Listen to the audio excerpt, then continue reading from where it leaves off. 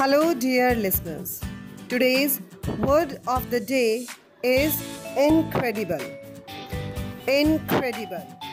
I N C R E D I B L E. Incredible. It means which cannot be believed, unbelievable. It is an adjective. We can use it in a sentence like Love among different communities under communal governments is incredible. What is incredible for you? Well, we live in an incredible India.